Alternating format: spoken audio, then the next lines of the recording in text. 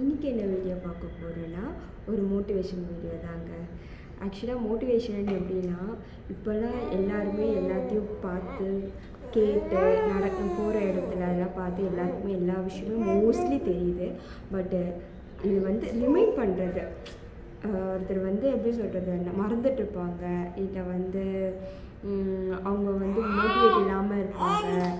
இல்லைன்னா ஒருத்தரை வந்து கஷ்டப்படுத்துவாங்க. ஸோ இந்த மாதிரி ஒரு விஷயத்தை ஞாபகப்படுத்தும் போது பண்ணக்கூடாது பண்ணணும் அப்படின்றது நம்மளுக்குள்ளேயே வந்து ஒரு சின்ன சின்ன மோட்டிவேஷன் தான். ஸோ இந்த வீடியோ உங்களுக்கு பிடிச்சிருந்தனா ரெகுலராக பாருங்கள் இல்லை இந்த மோட்டிவேஷன் வீடியோலாம் பிடிக்காதா ஸ்கிப் பண்ணிட்டு போங்க. ஒன்றும் ப்ராப்ளம் இல்லை.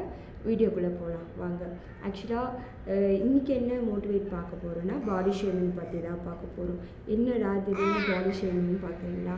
ஆமாங்க இப்போ இருக்கிற ஜென்ரேஷனில் வந்து எல்லா இடத்துலையுமே இருக்குது நம்ம ஏரியா பசங்களோட உட்காரும் போது அப்புறம் ஃப்ரெண்ட்ஸோட காலேஜ் ஃப்ரெண்ட்ஸோட ஸ்கூல் ஃப்ரெண்ட்ஸோட கொலீக்ஸோட ஸோ எல்லா இடத்துலையுமே இருக்குது ஏன் அவன் இப்படி இருக்கான் அவன் இப்படி நடக்கிறான்? அவன் இப்படி இருக்கா?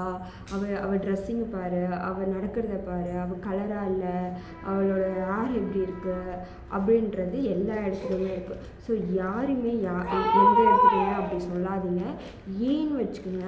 நான் ஒரு செமினார் அட்டென்ட் பண்ணுங்க. அதில் சொல்லியிருந்தார் ஒரு ஐயா ஒரு ரோஜா பூவோட இதழ்கள் இருக்குது பார்த்தியா அது ஒன்று ஒன்றா பிரிஞ்சு கீழே விழும்போது கூட அந்த ரோஜா பூவை வந்து நம்ம ரோஜா பூன்னு தான் சொல்லுவோம்.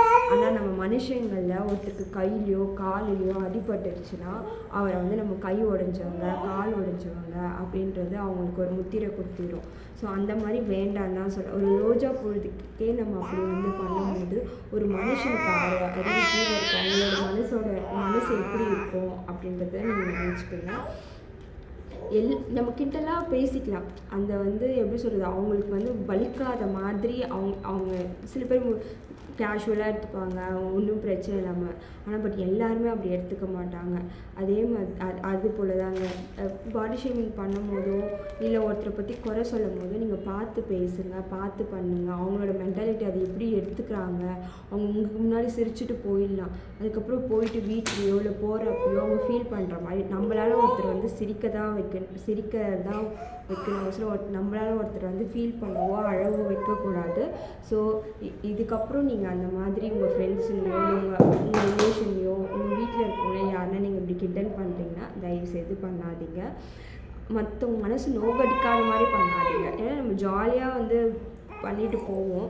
பட் மற்றவங்கள காயப்படுத்துகிற மாதிரி எந்த விஷயத்தையும் பண்ணாதீங்க. என்னோடய வீடியோ உங்களுக்கு ரெகுலராக பிடிச்சிங்கன்னா லைக் பண்ணுங்கள் ஷேர் பண்ணுங்கள் சப்ஸ்கிரைப் பண்ணுங்கள் ஏன் இதை நான் அடி அப்பப்போ மோட்டிவேஷனலாக பேசுகிறேன்னா என்னோடய வியூஸ் வியூவர்ஸ் பார்த்தீங்கன்னா ஒரு two hundred two hundred something தான் போகுது. ரொம்பலாம் கிடையாது. அப்புறம் இந்த டூ ஹண்ட்ரட் சம்திங்கில் ஒரு பத்து பேர் இதை பார்த்து மா மாறிட்டாவே எனக்கு அது ஒரு பெரிய அச்சீவ்மெண்ட் தான். ஸோ அதனால தான் இந்த பத்து பேருக்காக தான் நான் சொல்கிறேன் ஸோ உங்களுக்கு பிடிக்கல இந்த மாதிரி மோட்டிவேஷன்லாம் பிடிக்கலன்னா ஒன்றும் ப்ராப்ளம் இல்லை. ஸ்கிப் பண்ணிவிட்டு என்னோட மற்ற வீடியோஸ் பாருங்கள் ஹாப்பியாக இருங்க. லவ்வை ஸ்ப்ரெட் பண்ணிக்கிட்டே இருங்க. என் பையனும் சொல்கிறான் ஹாப்பியாக இருங்க. ருத்து பாய் சொல்லிடுறேன் பாய் ஹாப்பியாக இருங்க. ஓகே ஃப்ரெண்ட்ஸ் நெக்ஸ்ட் வீடியோவில் பார்க்கலாம். பாய்